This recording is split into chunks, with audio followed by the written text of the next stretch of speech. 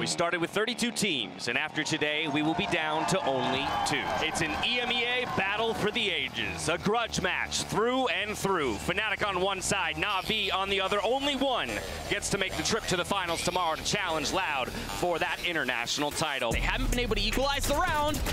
Now Pierre takes care of one, the second served up on the silver platter, and the fourth to boot. Alfajer cleans up the round almost by himself. The flash, the dart. He's in the cubby though, he's in the cubby and he's patient. Oh, dear. Oh, that's okay. They saved the day. They saved the round. That could have been disaster. Fnatic take Haven. with no room to spare. Let's get freaky.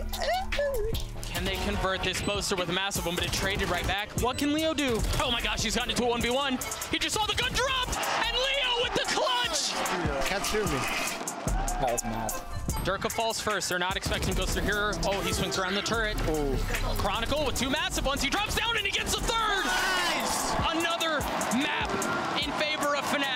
Boaster immediately up on his feet, asking the crowd to start thinking about sending Navi home.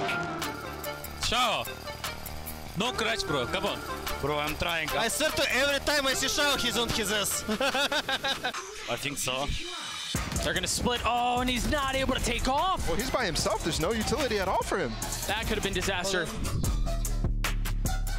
What do Navi do here? Actually, that's the thing about this Fnatic roster right now, man, is that you think, all right, how do Navi respond? Fnatic don't even give them a chance to consider the approach. Nice!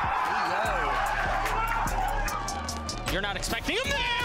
Oh my gosh, Alfajer! Come on, boys. One round at a time, baby. Fnatic once again get things back their way. What can Zyppan do? He's got 80 HP, nothing! Valorant has shown us that many aspire, but few attain. And the pursuit of greatness persists. Up to this point, they looked like the best team in the tournament. But Fnatic say, hell no.